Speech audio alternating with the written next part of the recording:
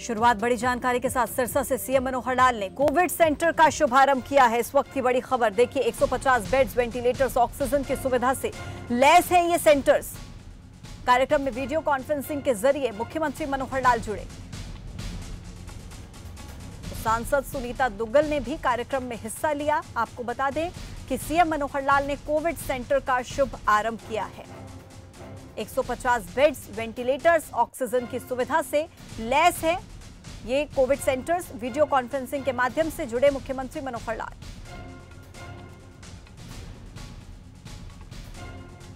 ज़्यादा जानकारी के साथ ब्यूरो एग्जीक्यूटिव मनीष कुमार मेरे साथ जुड़ गए मनीष, मुख्यमंत्री मनोहर लाल की तरफ़ से कोविड सेंटर का शुभारंभ किया गया है।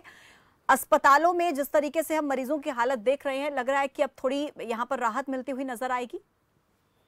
तो देखिए अगर इस बात की बात करें तो कोविड में जो हरियाणा की हालत हुई है, उसको लेकर मुख्यमंत्री मनोहर लाल खासकर अगर बात करें और स्वास्थ्य मंत्री अनिल विज तो लगातार उनकी कोशिशें जारी है कि लोगों को कम से कम समस्या हो।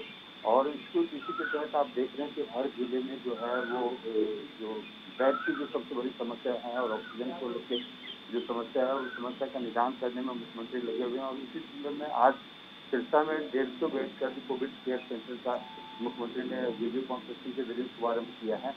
और लगातार ये जो पहल है, वो लगातार बना हुआ है और मुख्यमंत्री लगातार इस चीज़ को नज़र बनाए हैं कि आखिरकार हरियाणा के जनता को किसी प्रकार की परेशानी नहीं जी। मनीष, बहुत शुक्रिया आपका जुड़ने के लिए, तमाम जानकारी साझा करने के लिए। तो देखिए, आगे बढ़ते हुए